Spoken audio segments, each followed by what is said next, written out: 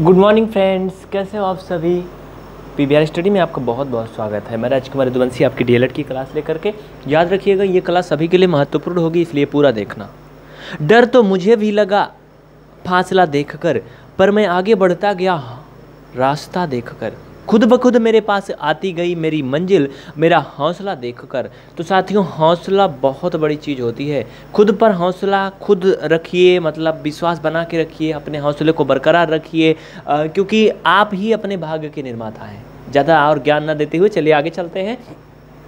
देखिए म, भिन्नों का एचसीएफ आज हम लोग देखेंगे। फ्रैक्शन का एचसीएफ यानी कि हाईएस्ट कॉमन फैक्टर जिसे जीसीएफ बोलते हैं। जीएफ नहीं नहीं तो कुछ और समझ लेंगे जी सी एफ़ तो जी सी एफ़ क्या होता है? ग्रेटेस्ट कामन फैक्टर या हाईएस्ट कामन फैक्टर देखो ग्रेटेस्ट या हाईएस्ट दोनों का मतलब एक है हुआ। तो इनमें हम लोग कैसे करते हैं? अगर साधारण सा नंबर दिया है 12 और 18 का बोल लें तो आप बोलोगे, चुपके से, जल्दी से सिक्स लिख लो, हो गया एचसीएफ लेकिन अगर ये फ्रैक्शन रूप में है तो तो थोड़ा सा प्रॉब्लम होती है, ज़्यादा नहीं। क्योंकि अगर आप कोशिश करते हैं तो फिर मुश्किल आसान हो जाती है ना। चलिए देखिए। ये जान लो एलसीएम निकालना है। आ, मैं यहाँ पर पहले लिख दूँ तब आपको बताऊँ। ये देखो इधर भिन्नों का एच सी एफ़ इक्वल अंशों का अंश जानते हो ना न्यूमरेटर अंशों का एच सी एफ़ अपान हरों का एलसीएम। बताइए अब आप इसको कैसे करेंगे? जवाब दीजिए। देखिए इसमें क्या करना है इसको हमें हल करना है और निकालना है। आ, कैसे क्या होगा इसके बारे में आपको बताना है। देखिए मित्रों आपको एक बात बता दें। पहले आपको जो अंश दिए गए इसका उसका एचसीएफ निकाल लो और फिर जो हर दिए गए उनका एलसीएम निकाल लो। तो इसको आप लोग निकाल के बताइए कितना होगा। जल्दी से बताइए, उसके बाद फिर हम लोग आगे चलते हैं। जल्दी करें। हो गया। तो आप लोग निकाल लिए होंगे कि यहाँ पर लिख देता हूँ, अंशों का एच मतलब तीन व पाँच का एच देखो, अंश तीन पाँच है ना? चार कामा सात का एलसीएम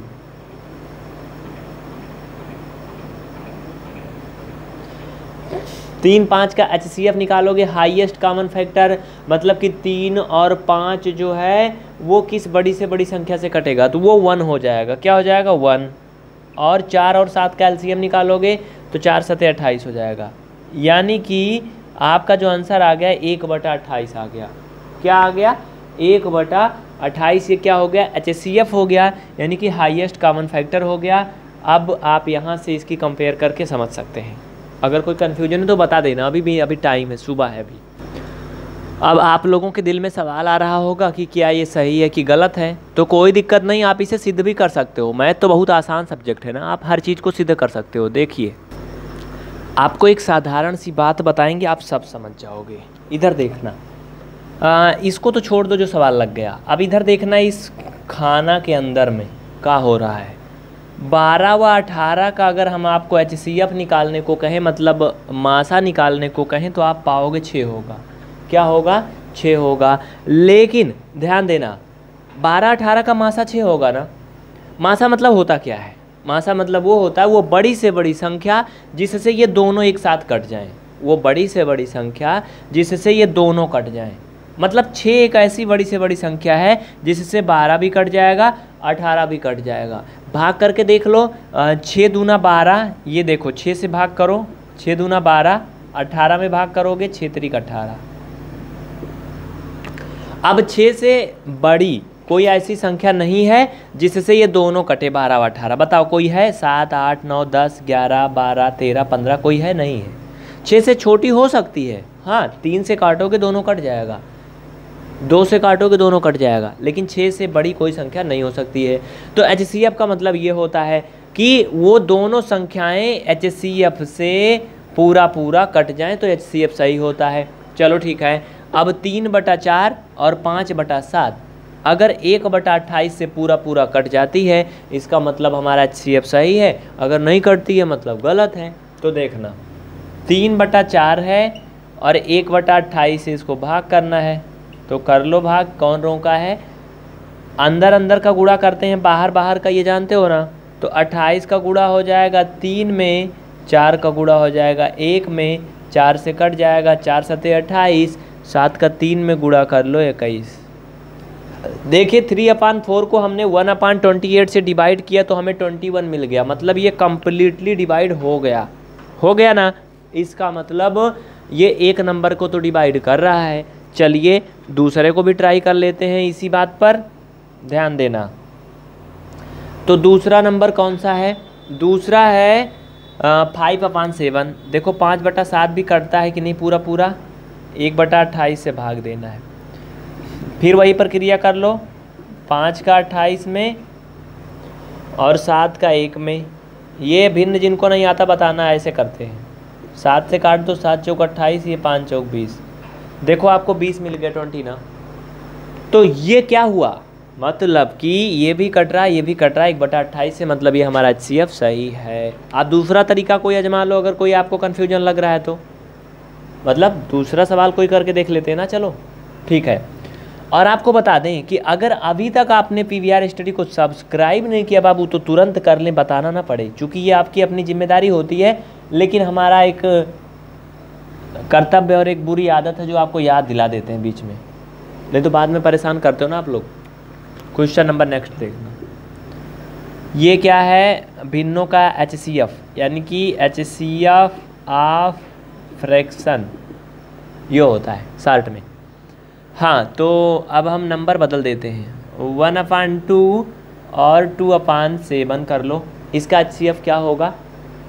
अंशों का एच सी एफ़ यानी कि वन और टू का एच सी एफ़ करोगे, बड़ी से बड़ी संख्या जिससे वन भी कट जाए टू भी कट जाए तो वो वन होगा।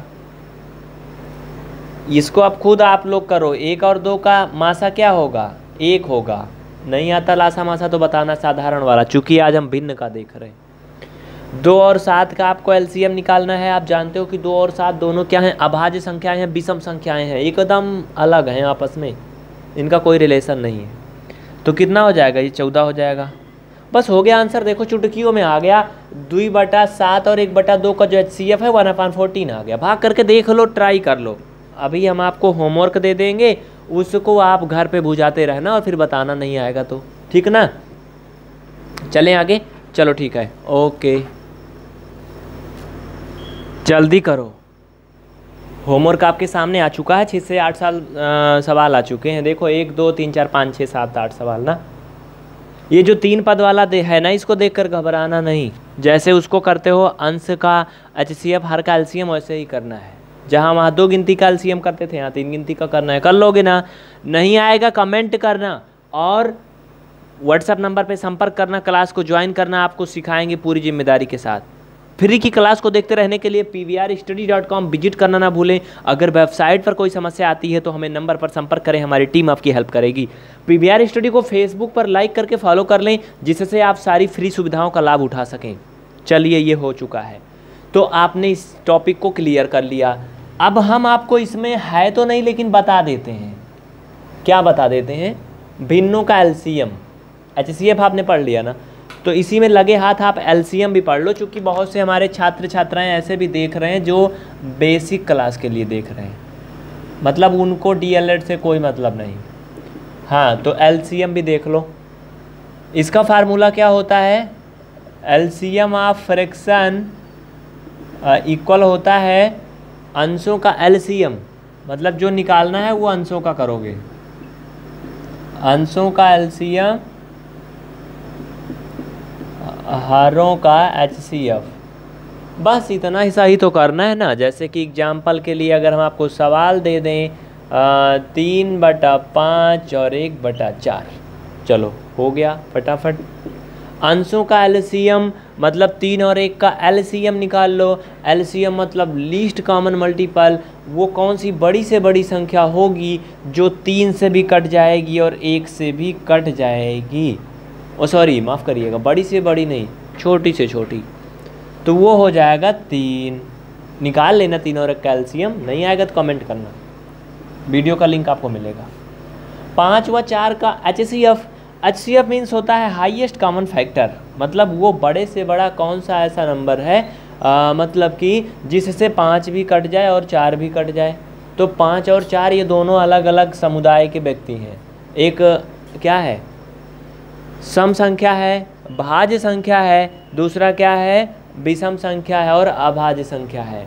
तो ये दोनों आपस में कोई प्रकार का रिलेशन नहीं रखते हैं, इसलिए इनका जो डायरेक्ट मल्टीपल है, वही क्या होगा? इनका एलसीएम होगा, यानी कि ट्वेंटी हो जाएगा। इस तरह से देखो आपको मिल गया तीन बटा पाँच व एक बटा चार का जो एलसीएम लिस्ट कॉमन मल्टीपल वो थ्री अपॉइंट ट्वेंटी आ गया।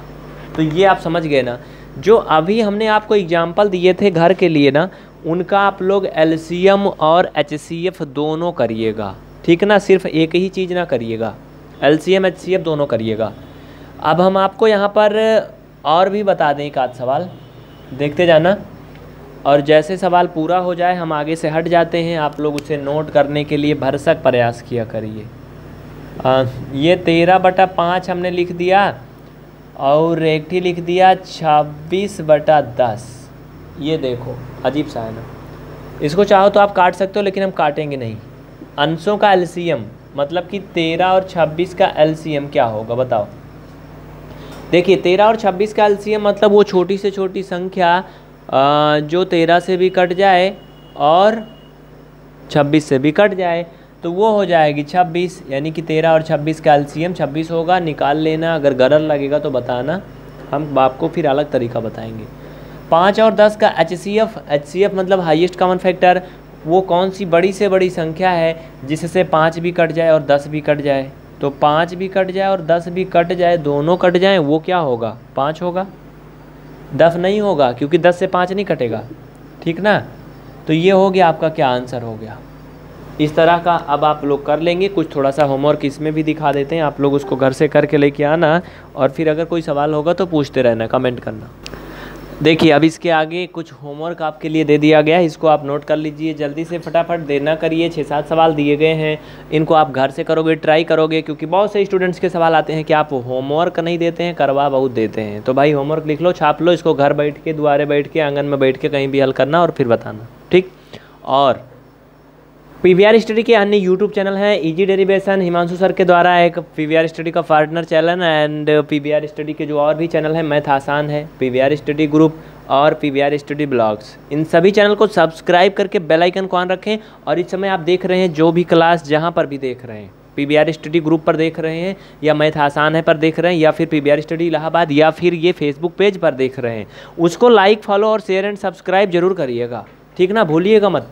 अभी और भी हम आगे चलेंगे। भागना मत, अभी छुट्टी नहीं हुई है कि होमवर्क मिल गया तो भाई छुट्टी हो गई। अभी और भी इसमें कुछ होने वाला है आगे। ध्यान से देखना। थोड़ा सा चेंज हो चुका है सिस्टम ध्यान से देखना। घात वाली संख्याओं का एलसीएम और एचसीएफ तो पहले हम एचसीएफ की बात करेंगे। घात वाली संख्या मतलब कि देखिए, कोई भी चीज़ होता है, वो कई रूप में सामने आता है। है ना? बात समझ रहे ना? तो अगर किसी संख्या पर नंबर लगा है, घात लगा है पावर लगा है तो उसका एच कैसे निकालते हैं? क्योंकि टाइम के अनुसार चेंज होना चाहिए। वक्त बीतने के साथ लोग, आप जानते हैं इस समय क्या होता है? आपकी काबिलियत नहीं, आपकी हैसियत पूछने लगते हैं। तो इसलिए आप अपडेट रहें। इसको भी सीख लें। देखिए, जो घातें लगी हैं, उनको ध्यान से देखना है। जब हर, ओ सॉरी आधार बराबर हों, जैसे दो दो दो सब में है ना? इसमें देखो दो दो दो सब में है। इसमें देखो दो दो। घात से नहीं मतलब केवल आधार से मतलब है। अगर आधार बराबर हो तो जो घाते हैं उनमें जो सबसे छोटी घात हो, वही क्या होता है उत्तर होता है। इसका उत्तर ये होगा। बस बाकी कुछ नहीं करना है। जिसकी घात सबसे छोटी हो, अगर उसका बेस बराबर है तो वही उसका एच सी एफ़ होगा। इसमें सबसे छोटी घात ये है ना, ये इसका आंसर है। इसमें देखना, इसमें सबसे छोटी घात ये इसका आंसर है। क्लियर ना? अब आप लोग सब कर ले जाओगे। आठ की घात पाँच और आठ की घात नौ। इसमें बताओ चौथे में तो? पाँचवा नंबर पे बताना। माइनस पाँच, तेरह की घात बारह इसी में एक और लिख लो तेरह की घात तीन। क्वेश्चन नंबर छठा बताना। अठारह की घात माइनस पाँच, अठारह घात माइनस एक और अठारह की घात माइनस नौ। बताइए, प्लस वाले में तो आप कर ले जाओगे, माइनस वाले में हम जान रहे हैं काफ़ी लोग लुढ़क जाएँगे क्योंकि सबसे छोटी कौन सी नंबर है वो समझ ना पाएँगे। देखो, इसमें तो ये हो जाएगा क्लियर। इसका जो आंसर होगा, वो ये होगा, कुछ लोग सोच रहे होंगे घात तीन वाला होगा, ना होगा, चूँकि माइनस वाली संख्या छोटी है ना। इसमें बहुत से लोगों का ये उत्तर आ चुका होगा माइनस वन, बट ये भी गलत है, सरासर गलत है। माइनस नौ वाला होगा। अब आप कह रहे होंगे, अभी तक तो कह रहे थे जो छोटी घात होगी वो उत्तर होगा, फिर बड़ी घात वाला काहे बता रहे हैं? क्योंकि इसमें सबसे छोटी घात यही है, ये माइनस में लगा है। है ना? जो संख्याएँ माइनस में होती हैं, वो सबसे छोटी होती हैं। तो अब आप एकदम क्लियर कर लिए होंगे इसको। कोई कन्फ्यूज़न है तो बता देना अभी तुरंत, जस्ट नोट कर लीजिए, इसको छाप लीजिए। देखिए, क्लासें आपके पीवीआर स्टडी की भले 20 मिनट की हो 10 मिनट की हो 15 मिनट की हो, लेकिन आपको इतना होमवर्क दे देंगे, इतना उसमें टॉपिक करवा देंगे कि आप ज़िंदगी में चाहोगे तब भी ना भूल पाओगे। ठीक ना? कुछ चीज़ें होती हैं ना, उनको बैठा बैठा करके अगर आप एक सिस्टम से रखते हैं तो वो कभी दिक्कत नहीं करती हैं। जैसे अगर एक प्रकार से एग्ज़ाम्पल के लिए कहा जाए कि कोई व्यक्ति को शरीर बनाना है तो उसको भाई जो भी है, घी, रोटी खिलाना शुरू कर दो। और बचपन से ही मतलब दो चार साल तक उसको थोड़ा थोड़ा खिलाते जाइए। तो क्या होगा? उसका शरीर कुछ बनेगा मतलब कुछ असर पड़ेगा। घी की बात ही नहीं, कुछ भी आप उसकी जगह प्रयोग कर सकते हो। लेकिन अगर आप सोचिए कि अब इसका शरीर बनाना है परसों तक तो आज इसको खूब घी घी खिलाओ, बाकी और कुछ ना दो। एकदम मोटा कि वो हो जाए। तो क्या होगा? गड़बड़ हो जाएगा, फिर हालत ख़राब हो जाएगी। तो बस उसी प्रकार से आप इस क्लास का मतलब समझिए कि हम आपको स्टेप बाय स्टेप लेके चलते हैं। फिर आपके दिमाग में वो सेट होता चलता है। फिर आपको उसको सेव नहीं करना होता है। अगर आप कोई ट्रिक या शॉर्टकट के चक्कर में पड़ेंगे कि जल्दी से आज देखें, इस टाइम देखें, शाम को सुबह तक हमें आ जाए तो फिर वो वही घी पीने वाली हाल होगी, याद रखिएगा। ठीक ना? तो ऐसा बिल्कुल ना करें। और जो लोग डेली पढ़ना चाहते हैं रेगुलर वो लोग ये नंबर को नोट कर लें जो हम आपके लिए लिख रहे हैं। ये सभी के लिए नहीं है, लेकिन याद रखना। जो लोग पूरा कंप्लीट पढ़ना चाहते हैं, हमारी नियम व शर्तों से संतुष्ट हैं। एग्री हैं मतलब टर्म एंड कंडीशन से। वही लोग इसको नोट करेंगे। ये व्हाट्सएप का भी नंबर है और ये फ़ोन पे का भी नंबर है और ये गूगल पे का भी नंबर है। कुछ लोग सोच रहे होंगे, ये तो कुछ पैसा इकट्ठा करने वाले हैं का। कुछ ऐसे ही लग रहा है। देखिए इसको आप फेसबुक पर भी इस नंबर से हमें ढूंढ सकते हैं टेलीग्राम पर भी जुड़ सकते हैं। एक ही नंबर पर सब कुछ है। आपको बता दें कि अगर आप अपने सेमेस्टर का, चाहे जो भी सेमेस्टर है, आपका कंप्लीट मैथ पढ़ना चाहते हैं तो आपको पाँच सौ उनचास रुपया, यानी कि महीना में टैक्सी के किराया को आपको पेमेंट करना होगा। जैसे अगर ऑफलाइन कोचिंग करोगे तो इतना रुपया किराया लग जाएगा कम से कम। उसके बाद आप कंप्लीट क्लास व्हाट्सएप पर प्राप्त करेंगे। चूँकि फेसबुक पर और या यूट्यूब पर हो सकता है आज की क्लास आपको दिख रही, कल की ना दिखे। ये गारंटी हमारी कोई नहीं होती है। क्योंकि सब कुछ भाई फ्री में नहीं आता, दुनिया में सिस्टम बनाने में खर्चे आते हैं। तो आप लोग उसे समझें, अपना योगदान दें और सबसे आसान, एकदम छोटा सा अमाउंट में कंप्लीट क्लास घर बैठ के करें। चाहे पानी बर्फ़ रहा, आंधी आ रही, तूफ़ान आ रहा है आप घर पे बैठ के पढ़ते रहें। एक बार नहीं, हज़ार बार देखें, बार बार देखें, देखने की चीज़ है। अगर आप ऑफलाइन पढ़ोगे तो आप एक क्लास को एक ही बार कर पाओगे। बुखार हो जाएगा, आंधी आ जाएगी, पानी बर्फ़ जाएगा तो आपकी क्लास छूट जाएगी, दोबारा नहीं कर पाओगे, लेकिन ऑनलाइन में ऐसा नहीं होगा। समझ गए ना? तो चलते हैं फिर आज के लिए बस इतना ही नहीं बातों के साथ। जय हिंद, जय भारत, आपका दिन शुभ हो। अगली क्लास ज़रूर देखना, पाँच बजे से ज़ीरो लेवल बेसिक मैथ। अगर सभी के लिए उपलब्ध होगी तो चैनल पे अवश्य मिलेगी आपको। और चार बजे डी की पहली क्लास होती है फोर्थ सेमेस्टर की हो चुकी है, साढ़े चार बजे आप देख रहे हैं सेकंड सेमेस्टर का। सेकंड सेमेस्टर तीन दिन होता सप्ताह में, याद रखना, सुबह साढ़े चार बजे के बाद कभी भी देख सकते हो मतलब साढ़े चार बजे से बृहस्पतिवार, शुक्रवार और शनिवार को। सैटरडे के बाद में संडे को क्लास नहीं होती रेगुलर ठीक है? तो बात समझ गए तो नोट कर लो इन जानकारियों को, चलते हैं फिर। Thank you good morning Ram Ram. वालेकुम सलाम.